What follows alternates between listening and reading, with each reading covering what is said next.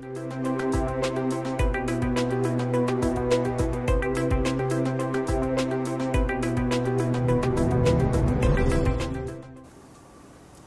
I'm John Everett with Zurn Industries.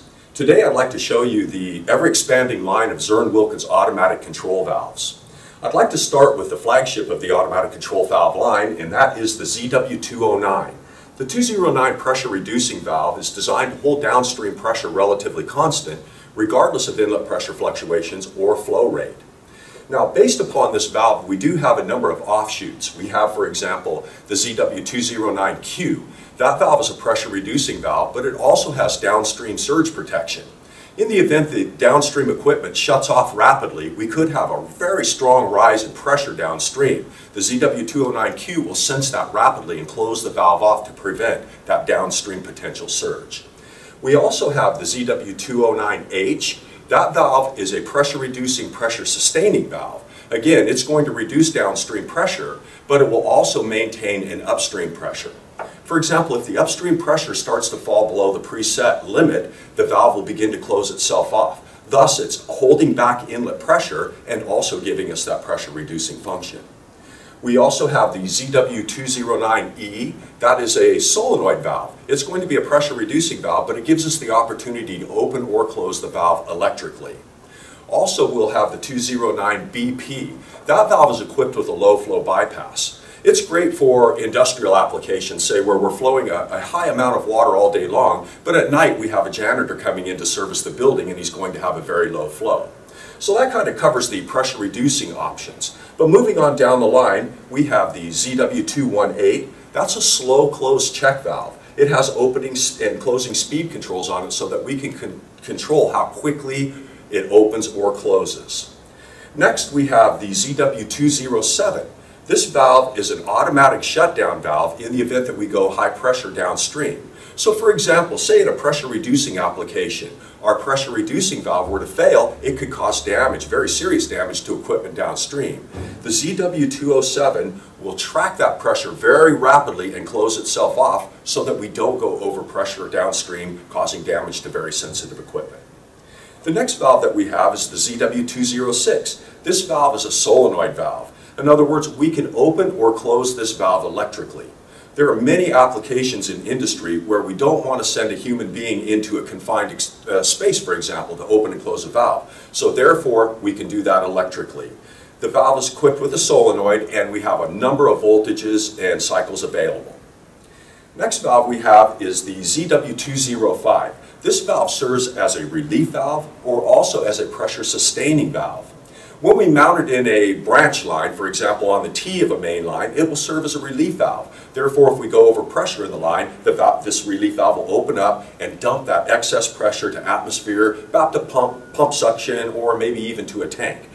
When it's mounted in line, it serves as a sustaining valve. In that application, it's always holding back inlet pressure. As long as the inlet pressure, again, is above the, the uh, set point of the valve that we've set it to, the valve remains open and it allows flow to go downstream. But in the event that that inlet pressure starts to drop, this valve will begin to pinch itself back, even going all the way close, so that we always hold back a certain amount of inlet pressure. On down the line, we have our ZW204. This is a non-modulating float valve. Basically, it's a way of controlling the level of fluid in a tank we can mount the float assembly itself in the tank and run umbilical lines to the main valve. Therefore, whenever the tank gets low, the pilot tells the main valve to open and we fill the tank. It will continue to remain open until the tank is fully, fully filled, and at that point in time, the valve will shut itself off. So again, it's a non-modulating valve.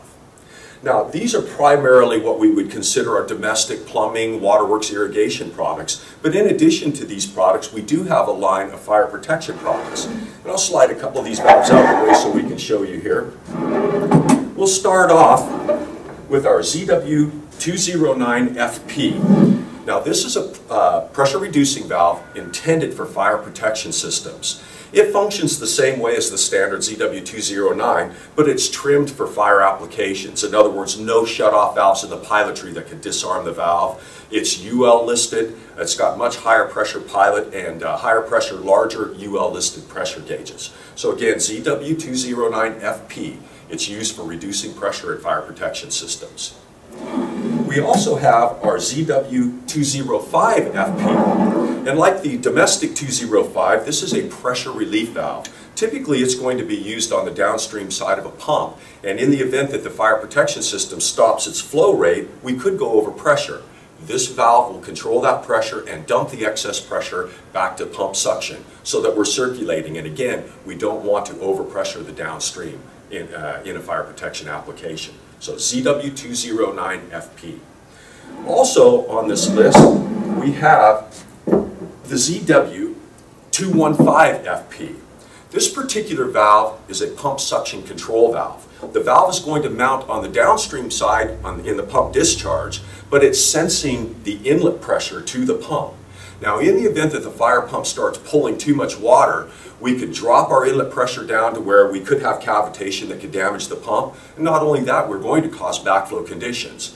This valve senses that pump suction pressure, and if that pressure becomes too low, it will throttle down the output of the pump thus causing the suction pressure to rise again. So once more, ZW215FP, fire, uh, fire pump suction control valve.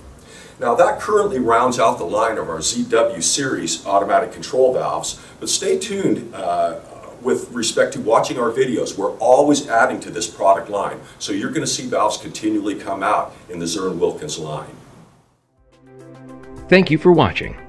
For more information, please subscribe to our One Zurn YouTube channel. Call our customer care center at 1 855 1 Zurn and visit us at zurn.com.